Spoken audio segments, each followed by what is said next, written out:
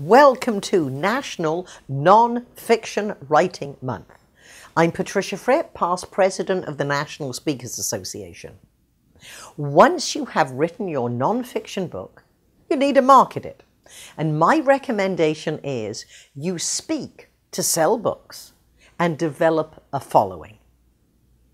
There is no such thing as a free speech. You develop your skills, you add to your mailing list, and you have potential buyers.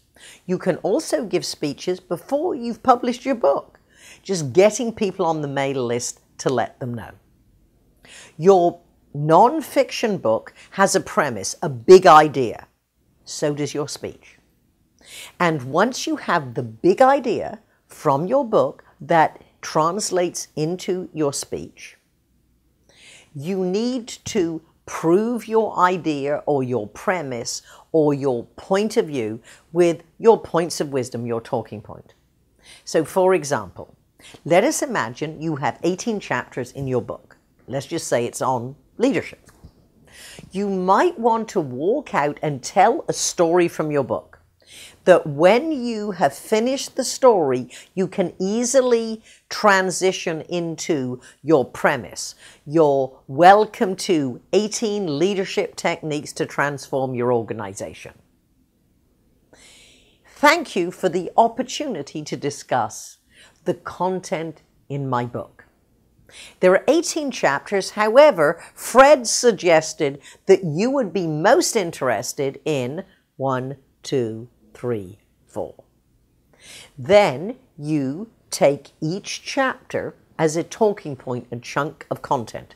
So you might tell us what the chapter is about, the key idea. You might give an explanation of what that means, give an example from the book, and then what would you like the audience to do with that to improve their leadership or their condition, whatever your book is about.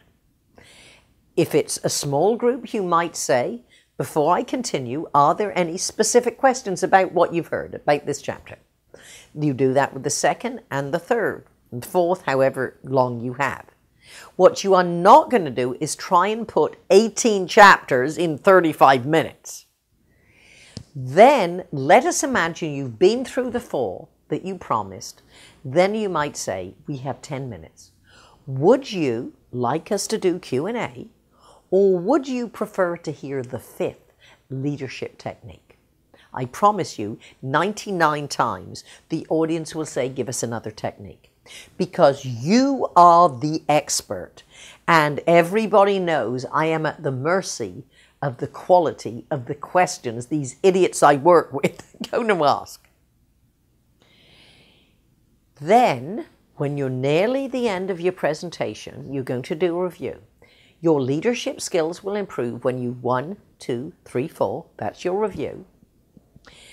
If you have told about characters and individual stories, you might say, if you want to improve your leadership skills as Larry, Mary, and Susan did, take the steps that they did.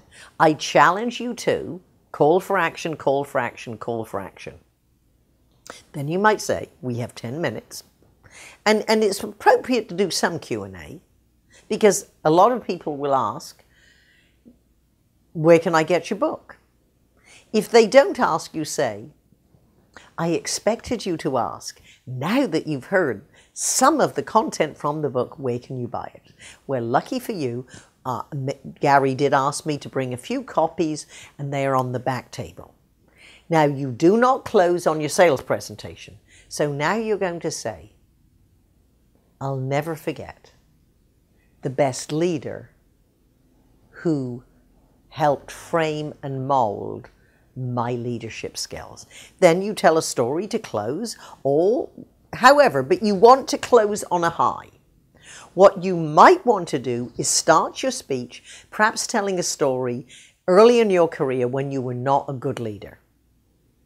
Then, after the techniques, then you can say, once I learned to incorporate the leadership lessons from all the best bosses I've ever had, now I feel confident in leading others. Then you can close on a story of life as it is now, now that you're a great leader. This is Patricia Fripp, past president of the National Speakers Association. If you want to learn how to speak more effectively, structuring, telling stories, check out frippvt.com as in virtual training. Good luck with promoting your book.